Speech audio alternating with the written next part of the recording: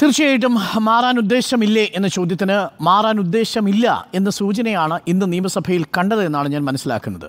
ഞാൻ മഹാരാജാവല്ല ജനങ്ങളുടെ ദാസനാണ് എന്ന് മുഖ്യമന്ത്രി പറയുമ്പോൾ അത് യഥാർത്ഥത്തിൽ അങ്ങനെ തന്നെയാണ് ഉദ്ദേശിച്ചിരുന്നതെങ്കിൽ രക്ഷാപ്രവർത്തനത്തെക്കുറിച്ചുള്ള അദ്ദേഹത്തിന്റെ പരാമർശം ഇന്നുണ്ടാകുമായിരുന്നില്ല എന്നാണ് ഞാൻ മനസ്സിലാക്കുന്നത്.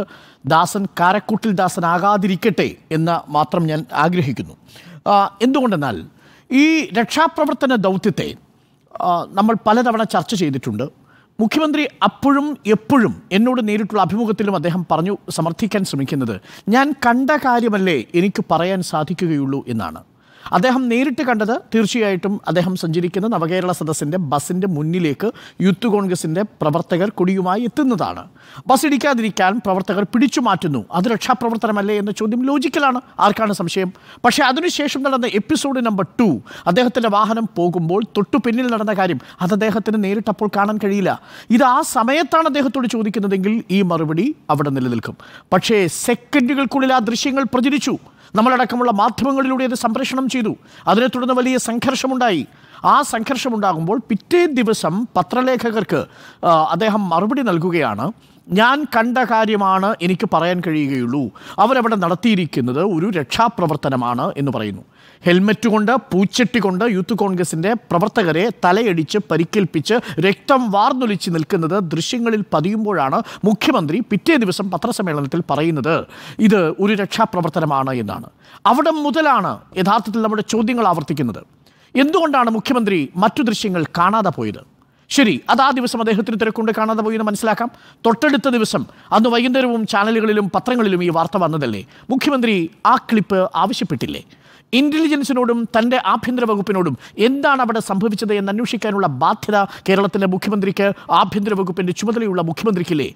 അതല്ല താൻ കണ്ണിൽ കണ്ടത് മാത്രമാണ് വിശ്വസിക്കുന്നതെങ്കിൽ തന്റെ ആഭ്യന്തര വകുപ്പിന് കീഴിലുള്ള പോലീസിനെയും ഇന്റലിജൻസിനെയും തനിക്ക് വിശ്വാസമില്ലെങ്കിൽ അത് മുഖ്യമന്ത്രി തുറന്നു പറയണം. ആഭ്യന്തര വകുപ്പ് പറയുമായിരുന്നല്ലോ. എന്തിനേറെ? കല്യാശ്ശേരിയിലെ പോലീസ് പറയുമായിരുന്നല്ലോ. എഫ് ഐ ആർ ഇട്ട് പന്ത്രണ്ട് പേരെ ഈ കല്യാശ്ശേരി സംഭവത്തിന്റെ പേരിൽ അറസ്റ്റ് ചെയ്തല്ലോ. അവരുടെ പേരിൽ കേസ് ചാർജ് ചെയ്തല്ലോ. ആ പോലീസിനെ ഈ ആഭ്യന്തര വകുപ്പ് മന്ത്രിക്ക് വിശ്വാസമില്ലേ? ആഭ്യന്തര വകുപ്പ് മന്ത്രി ഇനി ആ എഫ് ഐ ആറിൽ വിശ്വസിക്കുന്നില്ലെങ്കിലും ആ ദൃശ്യങ്ങളിൽ വിശ്വസിക്കുന്നില്ലേ? തലയിടിച്ചു മാറ്റിയതെന്താ? ഒരു കുഞ്ഞുകളിയായിട്ടാണ് മുഖ്യമന്ത്രി കണ്ടിരിക്കുന്നത്. അപ്പോൾ തന്റെ കണ്ണിൽ കണ്ടത് മാത്രമേ വിശ്വസിക്കൂ എന്ന് മുഖ്യമന്ത്രി പറയുമ്പോൾ അതത്ര നിഷ്കളങ്കമായൊരു ലോജിക്കല്ല ആ പറഞ്ഞതിൽ നിന്ന് വ്യതിചലിക്കുന്നതിനുള്ള ഒരു മടിയായോ അല്ലെങ്കിൽ തന്റെ അധികാരത്തോടുള്ള തന്റെ അല്ലെങ്കിൽ അധികാരം തനിക്ക് തന്നിരിക്കുന്ന ഒരു തോന്നലോ അദ്ദേഹത്തെ അതിൽ നിന്ന് തടയുന്നു എന്ന് വേണം മനസ്സിലാക്കാൻ.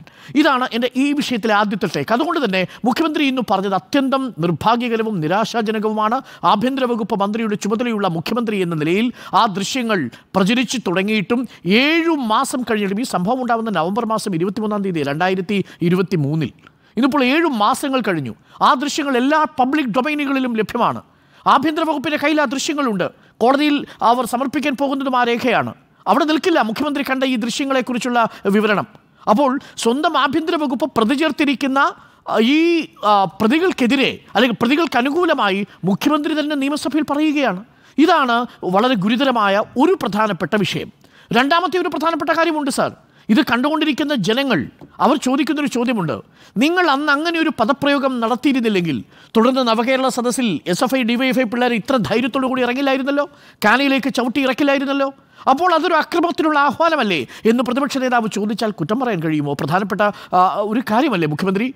അതുകൊണ്ടാണ് മുഖ്യമന്ത്രിയോട് നമുക്കും ചോദിക്കാനുള്ള ചോദ്യങ്ങളിൽ ഒന്ന് എന്ന് M T Vasudevan Nair William ഡ്രീഹിന്റെ വാക്ക് ഉദ്ധരിച്ചുകൊണ്ട് നടത്തിയ പ്രസംഗം ഓർമ്മയുണ്ടല്ലോ.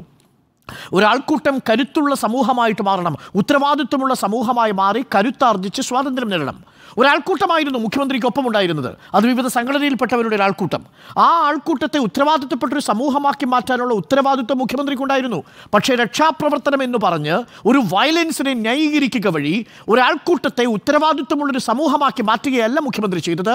പകരം മുഖ്യമന്ത്രി ചെയ്തത് ഒരു ക്രിമിനലുകളെ അല്ലെ ഒരു ക്രിമിനൽ സംഘത്തിന് കൂടുതൽ ആ ഹിംസ ചെയ്യാൻ കൂടുതൽ വയലൻസിലേക്ക് പോകാനുള്ള ഒരു പച്ചക്കുടി കാട്ടുകയാണ് മുഖ്യമന്ത്രി ചെയ്തത്. അതാണ് അടിസ്ഥാനപരമായി നവകേരള സദസ്സിനെ പരാജയപ്പെടുത്തിയ സ്റ്റേറ്റ്മെന്റ്. ഞാൻ വിശ്വസിക്കുന്നു നവകേരള സദസ്സിലെ ബസ് അത് മാധ്യമങ്ങൾ ഉണ്ടാക്കിയ കള്ളക്കഥയാണ്. ഞാൻ സമ്മതിക്കുന്നു.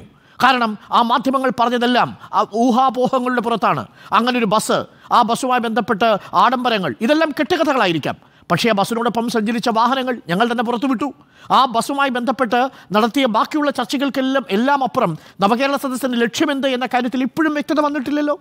കേന്ദ്ര സർക്കാരിനെ സാമ്പത്തിക നയത്തെ ചെറുക്കാൻ അല്ലെങ്കിൽ സാമ്പത്തിക നയത്തെ തുറന്നു കാട്ടാൻ വേണ്ടി നമ്മുടെ സംസ്ഥാനത്തിന്റെ സാമ്പത്തിക പ്രതിസന്ധി കേന്ദ്ര സർക്കാർ മൂലമാണെന്നുള്ളത് ജനങ്ങളിലേക്ക് എത്തിക്കാൻ വേണ്ടി നടത്തിയ ഒരു മാധ്യമ ഇടപെടലായിരുന്നു അത്. എന്നാണ് ഞാൻ വിശ്വസിക്കുന്നത്. അവിടെ ജനങ്ങളുടെ അപേക്ഷകൾ സ്വീകരിച്ചു. എത്ര തീർപ്പുണ്ടാക്കി? ഞങ്ങളുടെ അടക്കമുള്ള അപേക്ഷകൾ സ്വീകരിച്ചു. എത്ര തീർപ്പുണ്ടാക്കി? അപ്പോൾ നവകേരള സദസ്സ് എന്നുള്ളത് മാധ്യമങ്ങളെ മറികടന്നുള്ള ഒരു ജനകീയ മാധ്യമ ഇടപെടലായിട്ടാണ് ഞാൻ മനസ്സിലാക്കുന്നത്. അത് കേന്ദ്ര സർക്കാർ നമ്മുടെ സംസ്ഥാന സർക്കാരിനെ സാമ്പത്തികമായി ഞെരുക്കുന്നു എന്നത് പറയാൻ വേണ്ടി നടത്തിയ യാത്രയാണ്. പക്ഷേ ആ യാത്രയുമായി ബന്ധപ്പെട്ട് അതിന്റെ ലക്ഷ്യങ്ങളെ സാധൂകരിക്കാത്ത വിധം മാധ്യമങ്ങളിൽ പിന്നീട് ചിത്രീകരിക്കാൻ ഇടയാക്കിയത് മുഖ്യമന്ത്രിയുടെ ഈ പ്രയോഗമാണ്. ഈ പ്രയോഗത്തിൽ നിന്നുള്ള ആത്മവിശ്വാസത്തിലാണ് പിന്നീട് യൂത്ത് ഈ കെ എസ് യുവിനെയും യൂത്ത് കോൺഗ്രസ് പ്രവർത്തകരെയും ഒക്കെ നേരിടാൻ ഡി വൈഎഫ്ഐക്കും എസ് എഫ് ഐക്കും മാത്രമല്ല മുഖ്യമന്ത്രിയുടെ ഗൺമാൻ അടക്കമുള്ളവർക്ക് ഒരു ഒരു അധികാരം കൊടുക്കുന്നതും ലൈസൻസ് കൊടുക്കുന്നതും. യഥാർത്ഥത്തിൽ മുഖ്യമന്ത്രി രക്ഷാപ്രവർത്തനം എന്ന് പറയുമ്പോൾ ഒരു ലൈസൻസ് കൊടുക്കലാണ്. ആ ലൈസൻസ് കൊടുക്കലാണ് വഴിയരികിൽ നിൽക്കുന്ന പ്രവർത്തകനെ ഒരു ചൂരൽ കമ്പ് കൊണ്ട് തന്റെ ഗൺമാൻ മർദ്ദിക്കുന്ന അവസ്ഥയിലേക്ക് എത്തുന്നതും അത് ദൃശ്യങ്ങളിൽ പതിയുന്ന അവസ്ഥയിലേക്കും ഉണ്ടായത്. പിന്നീട് അങ്ങോട്ട് നവകേരള സദസ്സിന് സംഭവിച്ചതെല്ലാം ആ സ്റ്റേറ്റ്മെന്റിന്റെ ഭാഗമായിട്ടുള്ള അനുരണനങ്ങളാണ്. ഒരു വിഭാഗത്തിന് ആത്മവിശ്വാസമേറുന്നു. മറുവിഭാഗം അതിനെ പ്രതിരോധിക്കാൻ നിൽക്കുന്നതായിട്ടാണ് നമ്മൾ കണ്ടത്. അക്ഷരാർത്ഥത്തിൽ കേരളം രണ്ട് ധ്രുവങ്ങളിലായി മാറി ആ യാത്രയ്ക്കു ശേഷം. ഇതാണ് ഇതിന്റെ ഈ വിഷയത്തിലുള്ള എന്റെ രണ്ടാമത്തെ ടേക്ക് അതുകൊണ്ട് ഉത്തരവാദിത്വപ്പെട്ട ഒരു മുഖ്യമന്ത്രി എന്ന നിലയിൽ ആഭ്യന്തര വകുപ്പ് മന്ത്രിയുടെ കാര്യം ഞാൻ പറഞ്ഞു. അത് ഒരു സമൂഹത്തെ ഒരു ഉത്തരവാദിത്വപ്പെട്ട കരുത്തുള്ള സമൂഹമാക്കി മാറ്റേണ്ട ഒരു സ്റ്റേറ്റ്മെന്റ് അല്ല മുഖ്യമന്ത്രിയുടെ ഭാഗത്തു നിന്ന് ഉണ്ടായത്. ഇനി മൂന്നാമത്തെ ഒരു പ്രധാനപ്പെട്ട കാര്യം. ഇതിൽ മുഖ്യമന്ത്രി പറയുന്ന കാര്യങ്ങൾ യഥാർത്ഥത്തിൽ മുഖ്യമന്ത്രി മാത്രമാണോ പറയുന്നത്? ഇങ്ങനെ പറയുന്നത് മുഖ്യമന്ത്രി മാത്രമാണോ? അല്ല എന്ന് തന്നെയാണ് എന്റെ ടേക്ക്. അത് അവിടെയാണ് ധീരജിന്റെ വധവുമായി ബന്ധപ്പെട്ട നിഖിൽ പൈലി. ആ നിഖിൽ പൈലിയെ ന്യായീകരിച്ചുകൊണ്ട് K P C C president പറഞ്ഞതും മുഖ്യമന്ത്രി പറഞ്ഞ രക്ഷാപ്രവർത്തനവും തമ്മിൽ ഏകദേശം സാമ്യമുണ്ട്. K P C C president ഒരു കൊലപാതകത്തെ ന്യായീകരിച്ചുകൊണ്ട് പറയുന്നത് ഇരുന്നു വാങ്ങിയ മരണമെന്നാണ്. അതിന് ഇപ്പോഴും കോൺഗ്രസ്സുകാർ പറയുന്ന ജാമ്യം അത് സെൽഫ് ഡിഫൻസ് ആണ് എന്നാണ്. സെൽഫ് ഡിഫൻസിന് വേണ്ടിയാണോ അത് ചെയ്തത്. രക്ഷാപ്രവർത്തനവും K P C C president പറയുന്ന ഈ ഇരന്നു വാങ്ങിയ മരണവും തമ്മിൽ ആ സെൽഫ് ഡിഫൻസിന്റെ ന്യായവും തമ്മിൽ എന്താണ് വ്യത്യാസമുള്ളത്?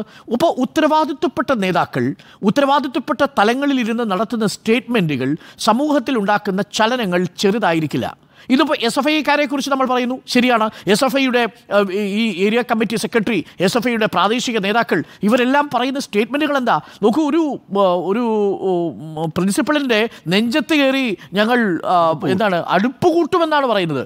അടുപ്പ് കൂട്ടിയും ശവമാടമൊഴുക്കിയും ഒക്കെ താല്പര്യവും പ്രിയവും ഉള്ളവരുണ്ടാവും. പക്ഷേ അതൊരു പബ്ലിക്കിന് മുന്നിലേക്ക് എത്തുമ്പോൾ ഈ ശവകുടീരം തീർക്കുന്നത് പോലെ അധ്യാപകന്റെ നെഞ്ച് തടുപ്പ് കൂട്ടുക എന്ന് പറയുന്നത് ഒരു പൊതുബോധത്തിൽ നിങ്ങളെ തിരസ്കരിക്കുന്നതിനുള്ള ഏറ്റവും ക്രൂരമായ ഒരു സ്റ്റേറ്റ്മെന്റാണ് അതെന്തുകൊണ്ടാണ് നിങ്ങൾ മനസ്സിലാക്കാതെ പോകുന്നത്? ഇത്തരം ഔട്ട്ഡേറ്റഡ് സ്റ്റേറ്റ്മെന്റുകൾ എന്തുകൊണ്ടാണ് ഇവർക്ക് കൊടുക്കാൻ കഴിയുന്നത്? മനസ്സിൽ കിടക്കുന്നത് എന്താ? രക്ഷാപ്രവർത്തനമാണ്. ഇതും ഒരു രക്ഷാപ്രവർത്തനം എന്ന് ഉദ്ദേശിച്ചിട്ടാവാം. ഒരു പക്ഷേ എസ് എഫ് ഐ ചെറുപ്പക്കാരൻ ഇത് പറയുന്നത്. നെഞ്ച തടുപ്പ് കൂട്ടുന്നതും മറ്റൊരു രക്ഷാപ്രവർത്തനമാണ്. ശവകുടീരം ഒഴുക്കുന്നത് ഇൻസ്റ്റലേഷനാണ് എന്നാണ് അന്നത്തെ മന്ത്രി പറഞ്ഞത്. അന്ന് ആ കോളേജിൽ പഠിപ്പിക്കുന്ന അധ്യാപകനായിരുന്നു ഞാൻ.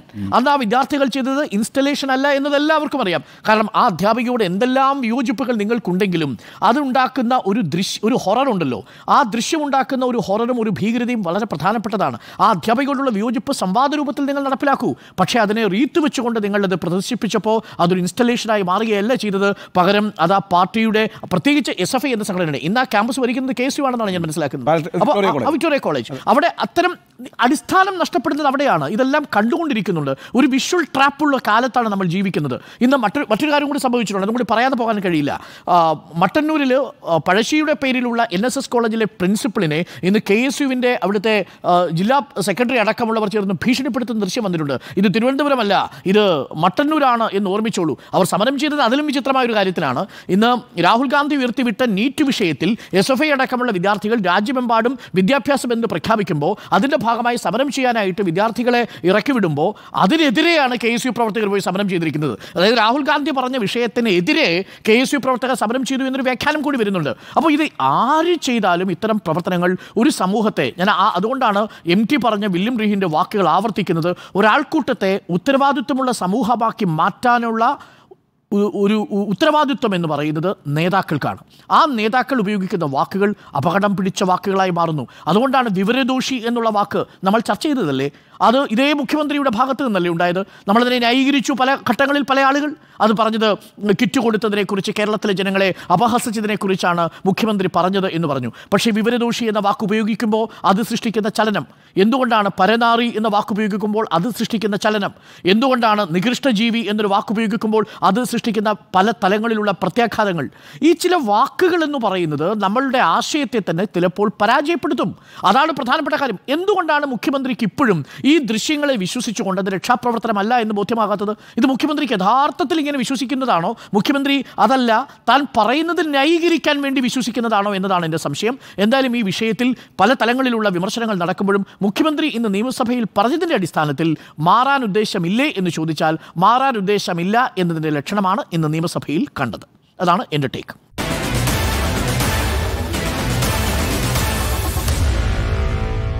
Meet the editors.